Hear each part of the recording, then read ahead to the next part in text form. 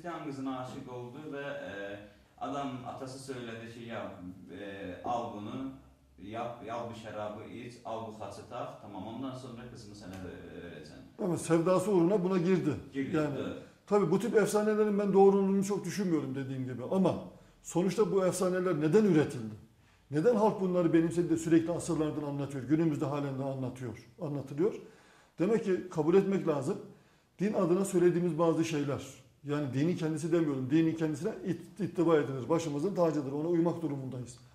Ama din adına verilen fetvaların ne kadarı mahalli ne kadarı evrensel. Bazı hususlar Hz. Peygamber'in kendisinin bile vermiş olduğu fetvaların ne kadar evrensel ve insanları bağlayıcı olduğunu ve bu anlamda Kur'an-ı Kerim'in çağlar üstü özelliğinin gündeme getirilmesinde problem yaşanırsa eğer işte karşınıza böyle efsanelerle toplumun dini aşması tabiri caizse çıkar. Mesela Hüseyin Atay hocamız var Ankara İlahiyat Fakültesinden emekli. O kendi hatırasını anlatıyor. Diyor ki Amerika'daydık diyor. İki senem ne kalmış orada hatırlayamıyorum. Orada anlatıyordu makalesinde ama unuttum şimdi. Mısır'dan, Pakistan'dan, İran'dan, e, İslam dünyasının muhtelif coğrafyasından diyor. Türkler şey e, insanlarla bir aradaydık diyor. Türkler de vardık diyor. Ben de ilahiyatçı olduğum için, hoca olduğum için diyor. En fazla diyor gelir bana sorarlar tartışırlardık diyor. Müslüman kızlar var, Müslüman erkekler var diyor. Bir gün diyor e, Mısırlı erkeklerin şöyle bir talebi oldu diyor. Demiş ki hocam şey Mısırlı kızlar. Demişler ki hocam güzellikse biz de güzeliz. Paraysa bizim de paramız var. Ama bizim erkeklerimiz Amerikalıları tercih ediyor. Evlenmeye cevaz var diye. Hani ehli kitaptan kız almak caizdi ya. Şimdi para var, güzelliğimiz var. Bizi tercih etmiyorlar diye biz de bunları kınayamıyoruz. Çünkü biz de bunların durumunda olsaydık Amerikalıyı tercih ederdik diyor. Yani yabancı ile evlenmenin beraberinde getirisi var. Peki şimdi böylesine bir cevaz var diye biz evde mi kalmaya mahkum olacağız bu şartlarda? Hüseyin Atay Hoca e, hatırlar mısınız bilmiyorum. Yani konumuzda belki irtibatını artık kültür olarak nasıl kurarsanız kuran yani dinleyiciler nasıl kurarsa kursunlar. Hazreti Ömer'in bir fetvasında yola çıkarak şöyle bir fetva veriyor. Hatırlarsınız Hazreti Ömer e, İran ve Suriye bölgesi fethedildiği zaman Müslümanların o bölgedeki Hristiyanlarla evlendiklerini görünce Hristiyanlarla evlenmeyi yasaklıyor. Ehli kitaptan kız almak yasak artık diyor. Niye? Müslüman kadınlar evde kalıyorlar çünkü. Onun dışında bir kültür değişmesi yaşanıyor. Sadece evde kalan kızlardan değil aynı zamanda kültür değişmesinden de söz etmek mümkün. Hazreti Ömer bu yabancılaşma hissettiği için ehli kitaptan kız almanızı yasaklıyorum diyor. Ayet-i kerime var.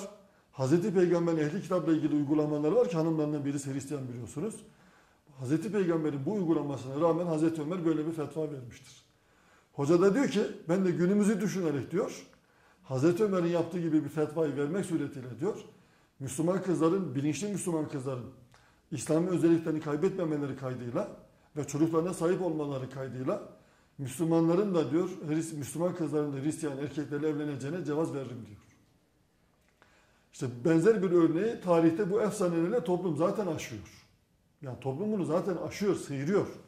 E böylesine bir problemi aşmaktansa hukuki bir yol bulmak herhalde daha uygun olabilir. Yalnız bunu söylerken günümüzde bu diyalog çalışmalarıyla Müslümanların Hristiyanlaştırılması ile ilgili o büyük ve derin projeleri kastetmiyorum. Onlara karşıyım. O ayrı bir şey. Hayır. Orada bas bayağı dümenler dönüyor. Onları da bu arada zikretmek lazım galiba. Allah razı olsun kuzum. Çok güzel anlattınız ve e, son olarak e, Kültürle ilgili şeyi söyleyelim hocam müsaade eder misiniz? Yani insan bir din değiştiği zaman kültürün tamamen değişmiyor. Türkler Müslüman oldular ama kültürlerini bırakmadılar ki.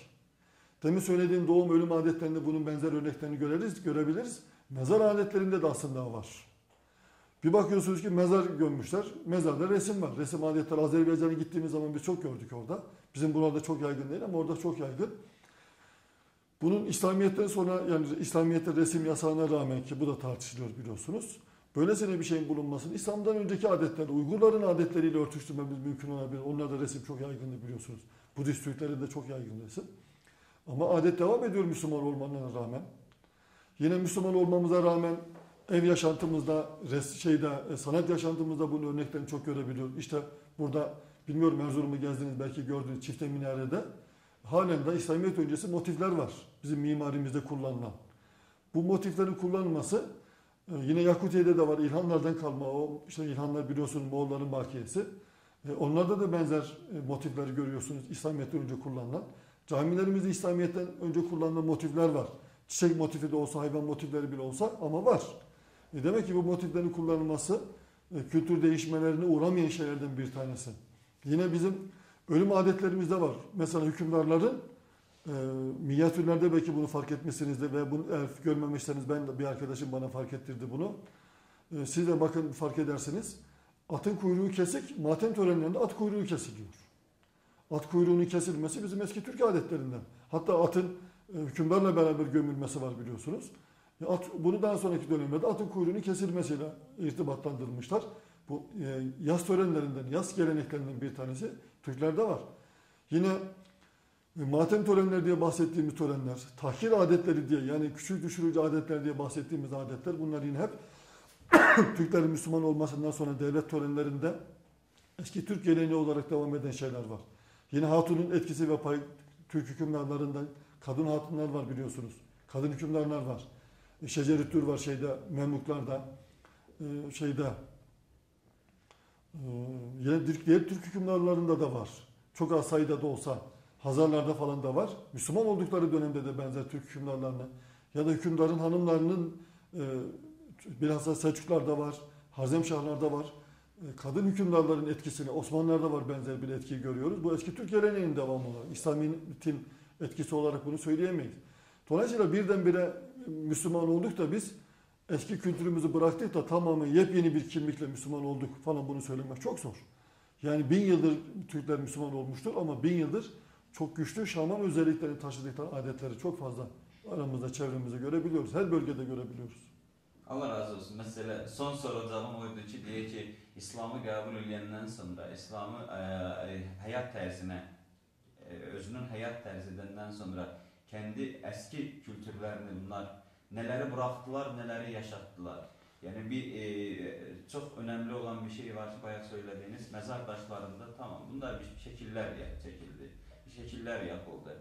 Amma e, İslami adət-ənənələrlə bunlara baxanda tamam bunların e, heç bir e, qarşımızdan Dərbənd məzarlığı üzərində e, bütün məzarların üzərində bir işarələr var, bir yazılar var.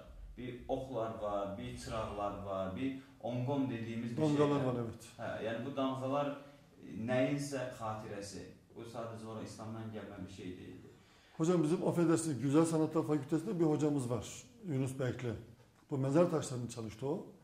Bizde maşatlık derler. Bilmem bilir misiniz? Maşatlık. Maşatlık denir burada Hristiyan mezarlarına. Erzurum'da 2-3 tane mezarlık vardır. Yanında bir tane Hristiyan mezarlığı vardır. Şimdi kalmadı ama eskiden oraya maşatlık derler. İşte köylerde vardır maşatlıklar. Maşatlıkları Hristiyanların mezarlığı anlamında bilhassa Ermeniler e, Müslüman mezarlığını ayırt etmek için yan tarafta olur genellikle. Yani Müslüman mezarlığına karıştırmaz o mezarlıklar. Bunları maşatlık diye adlandırılır. Bu arkadaşımız mezar taşlarını çalışırken bu maşatlıklar diye bahsedilen e, mezarlarda birçok Türk damgası görüyor. Bakıyor ki ya Türk adetlerindeki mezar taşları, mezar gelenekleri mesela koyun ve koç başları onlarda da var.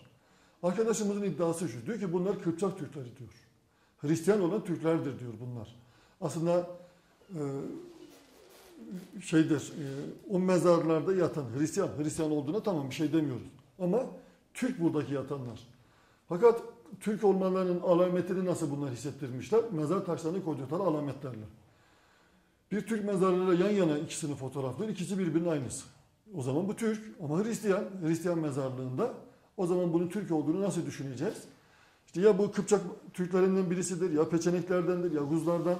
Yani daha önceki dönemlerde Hristiyanların içerisine yerleşmiş ama Türk olarak kalmış ve onu muhafaza etmiş olanlar.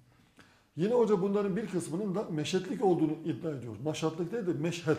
Yani şehitlik olduğunu söylüyor. Aslında diyor Hristiyan mezarlığı değil diyor bunların bir kısmı. Hristiyan mezarlığı olarak kabul görülmüş, kabul edilmiş. Türkler belki bu bölgeye gelmeden orada bir mezarlık vardı. Onun çok diyor şey olduğunu anlayamadılar hangi mezarlık olduğunu. Herhalde Hristiyanlarındır dediler. Tabii şunlar bu anlamda kısmen vars, varsayım. Ama hocamız bunu çalıştırıyor. İnşallah bunu yayınlayacak. Onların da bir kısmının Türk mezarlığı olduğunu söylüyor. Ee, Müslüman mezarlığı olduğunu söylüyor. gerekçesi de yine mezar taşlarındaki alametler ve özellikler. Yani birdenbire kültür değişmiyor. Zaten böyle bir şey olmaz. Hiçbir zaman olmaz. Ee, olmadığı için de zaten e, bunu zamanla zamanla e, bir şey e, nasıl diyelim ihtiyaç duyunca bu tezahür ediyor. Birdenbire tezahür etmiyor. Kullandığımız kelimelerde açığa çıkabiliyor bazı şeyler. Benim bir ateist arkadaşım vardı. Bir ateist olmuş. Yemin ettiği zaman vallahi diye yemin ederdi. Ben de ona söylüyordum sen hani ateistsin diye niye vallahi diyorsun? Ağız alışkanlığı diyor. Fark etmiyor. İsterse ağız alışkanlığı olsun. Yani bu kültür bir kültürde yaşayınca o kültür hangi dönemde ve nerede olursa olsun size egemen kılıyor. Hele bu kültür büyük bölgeye, büyük coğrafyaya yayılmış Türk kültürü gibi bir kültür. Ee, Türk devletleri gibi büyük devletlerin sahip çıktığı bir kültürse e, tabii ki bunun birdenbire bırakılması falan son derece zor. Efsanelerle devam eder, hiçbir şeyle devam etmezse.